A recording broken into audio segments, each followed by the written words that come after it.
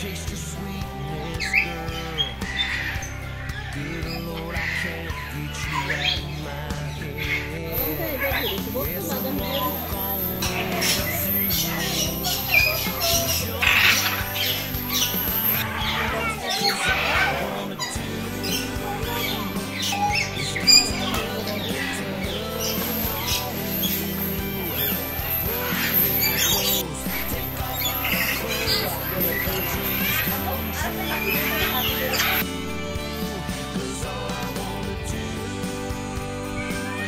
Spirit.